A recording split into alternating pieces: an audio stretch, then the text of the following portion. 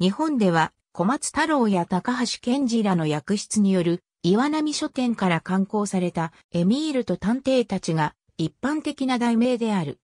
1931年のゲルハルト・ランプレヒト監督による初映画化以来、ドイツ、イギリス、アメリカ、日本、ブラジルで都合9回映画化されており、また舞台劇やミュージカルとしてもたびたび上演されている。後日談として、エーミールと3人の双子がある。偶然だがこの物語も映画化されている。アストリッド・リンドグレーンのエーミールシリーズは無関係。エリザベス皇太后は原書と英訳版計2度読んだという。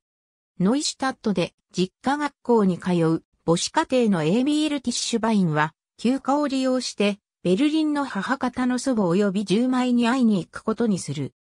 大工だった父は幼少の頃に病死、自分のヘアサロンを持つ美容師でもある母は祖母への仕送りのためにエーミールに現金140マルクを託すが、エーミールは乗った汽車の中で居眠りしている間に、ボックスシートで相席になったマックス・グルントアイスと名乗る男に金をすられてしまう。犯人と目したグルントアイスを追って、ベルリン市内ビルマースドルフ区のベルリン動物園駅に降り立ったはいいが、そこは目的地ではなく、所持金もないため途方に暮れるエミール。そこに、地元の顔役の少年、グスタフが声をかけてきた。話を聞いたグスタフは、地元でのいたずらが原因で睨まれているらしいから、警察の世話にはなりたくないというエミールに、仲間たちと共に証拠を抑える、追跡の手助けを申し出る。はじめは隠密行動のつもりだったが、ベルリン中の少年たちが事情を知って、助立ちに駆けつける騒ぎに発展。これでは、こちらの存在を知られるのは時間の問題、ということで、作戦は急遽変更。僕らは、お前が何をやったか知っているぞと取り囲んで、プレッシャーをかけることになった。グルントアイスが苛立って自分たちに手を挙げたら、警察に介入させられるためでもある。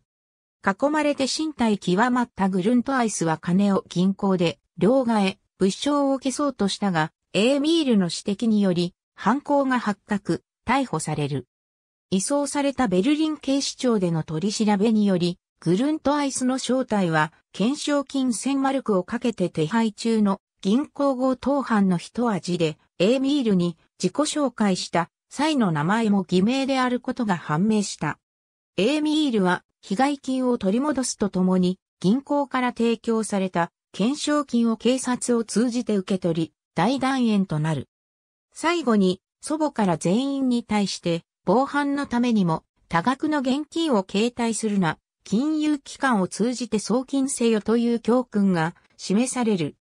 ケストナー本人も物語の中に新聞記者として登場、困っているエミールに金を貸したり、エミールと仲間たちの手柄を記事化して母親を驚かせたりしている。ありがとうございます。